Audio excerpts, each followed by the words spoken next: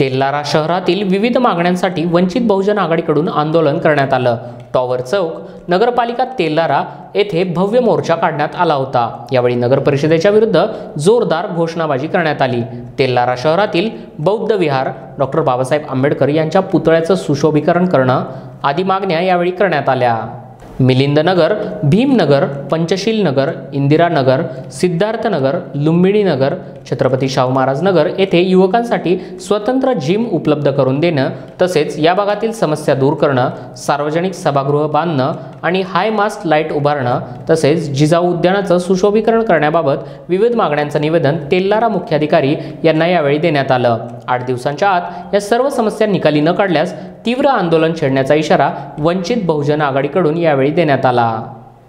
माननीय राजेंद्र भाऊ पातोडे आणि प्रमोद भाऊ देंडवे यांच्या मार्गदर्शनामध्ये आज वंचित बहुजन आघाडी तेलाऱ्याच्या वतीनं जो या ठिकाणी मोर्चाचं नियोजन केलं त्या दलित वस्त्यातील साही वार्डात कोणत्याच प्रकारची सुविधा तेलारा शहरातील नागरी समस्या ज्या आहेत त्या सोडवण्यासाठी आज वंचित बहुजन आघाडी तेलारा शहराच्या वतीने या नगरपालिकेवर मोर्चा काढण्यात आलेला आहे. नागरिकांच्या सामान्य सुविधा ज्या आहेत ते सामाजिक सभागृह असतील व्यायामशाळा असतील किंवा वस्त्यांचा विकास असेल तो केवळ दलित वस्ती वगळून केला जात आहे किंवा विशिष्ट वस्त्यामध्ये केला जात आहे.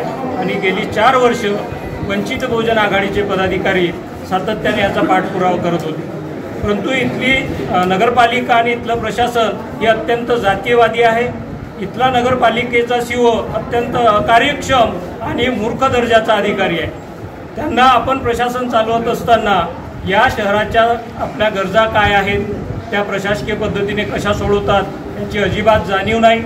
केवळ कमिशन खायचं आणि इथली विकास कामं करत असताना ती निकृष्ट दर्जाची झाली तरी चालतील अशा पद्धतीने भ्रष्टाचाराचं पुरण बनलेल्या या नगरपालिकेमध्ये वंचितच्या वतीने आज बेश्रमचं तोरण बांधून नगरपालिकेला इशारा दिलेला आहे की त्यांनी तात्काळ ज्या मागण्या निवेदनात करण्यात आलेल्या आहेत त्याचं सोडवणूक करावी. आठ दिवसात जर त्यांनी सोडवलं नाही तर मग त्यांना सहा डिसेंबरला बाबासाहेबांच्या दर्शनाची बंदी असेल आणि त्यानंतर टप्प्याटप्प्याने त्यांना ऑफिसमध्ये बसण्याची आणि शहरात प्रवेश करण्याची बंदीसुद्धा घातली जाईल. आणि सोबतच नगरपालिकेला टॅक्स भरायचा नाही असं आव्हान आम्ही केलेलं आहे. कारण सुविधा नसतील तर नुसता टॅक्स काही आम्ही देणार नाही आणि पुढच्या काळात हे आंदोलन सुद्धा वंचितच्या वतीने केलं जातं.